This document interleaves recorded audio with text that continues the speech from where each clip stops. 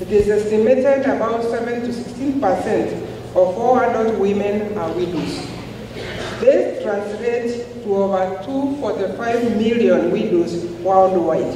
Unfortunately, the world has not been kind to those human beings who have suffered the misfortune of losing their partners. Widows face many challenges wherever they are in the world. They are especially vulnerable in patriarchal societies like ours in Kenya. Widows lose a source of income and security upon the death of their partners, leaving them impoverished. Widows suffer social discrimination and are marginalized irrespective of culture. Many lose their basic human rights, including right to equal treatment and right to leading respectful lifestyle. Widows suffer economic hardship as they lose their right to own property, leaving them impoverished. As government, we have put in place various programs that provide opportunities for capacity building and skill training for the widows. One of the flagship programs is Access to Government Procurement Opportunities Program. The government being the single largest consumer of goods and services has for the last five years now dedicated a minimum of 30% of all its procurement to enterprises owned by the youth, women, and the persons living with, disability. The government has also established four affirmative funds administered by the ministry, especially through State Department of Gender, the National Government Affirmative Fund, which is uh, managed by the women rep uh, in all the counties, and you get an opportunity, and I heard Esther Passaris say she has been able to save some resources and share with the widows through that government effort.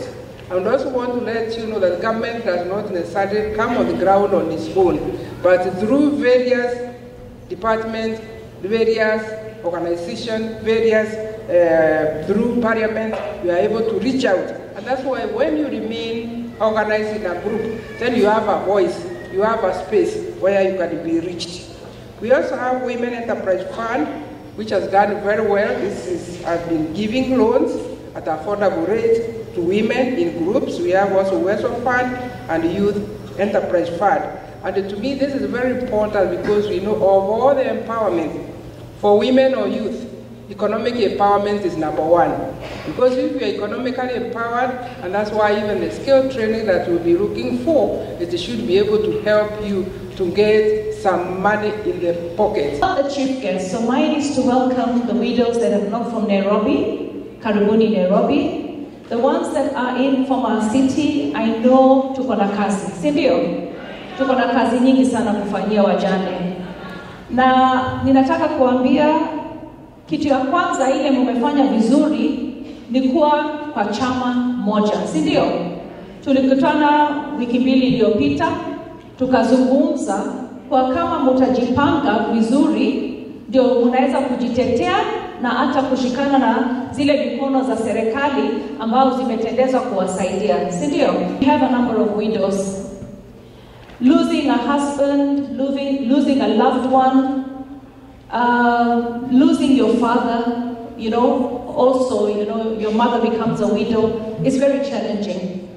And our widows need protection. A lot of them complain about the fact that they have succession issues, uh, they have inheritance issues, um, they have uh, no knowledge. I've recently met widows that have no knowledge how their husbands' businesses were running. Boti.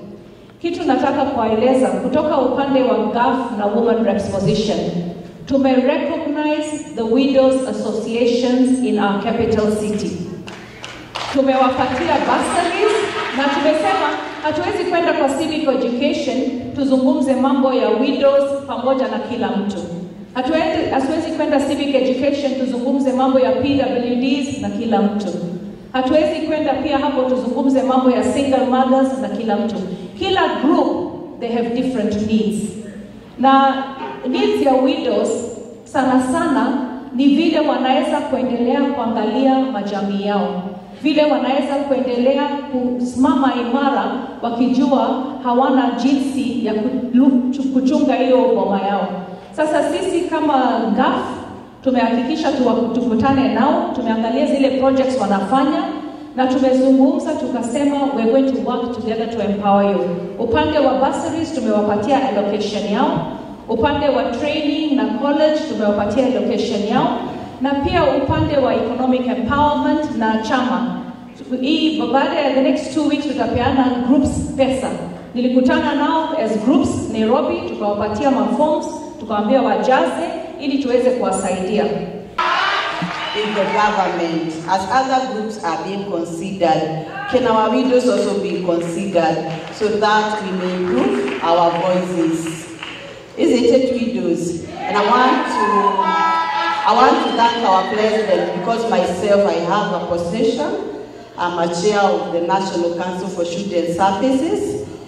And that is the president who nominated us. I want to thank the president and also our CES, wherever they may have contributed for that position. And we ask even the president to add us more and more. Isn't it widows in various places? The International Widows Day was declared by United Nations 2010 and was first marked globally on 23rd June 2011 in an effort to empower widows and help them gain their lost lives.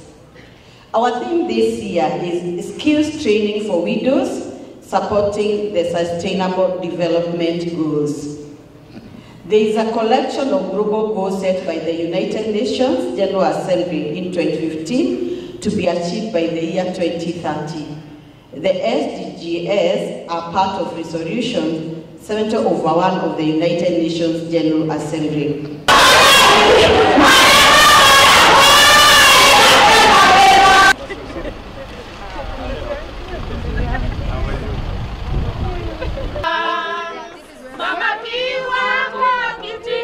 Hapo ndio.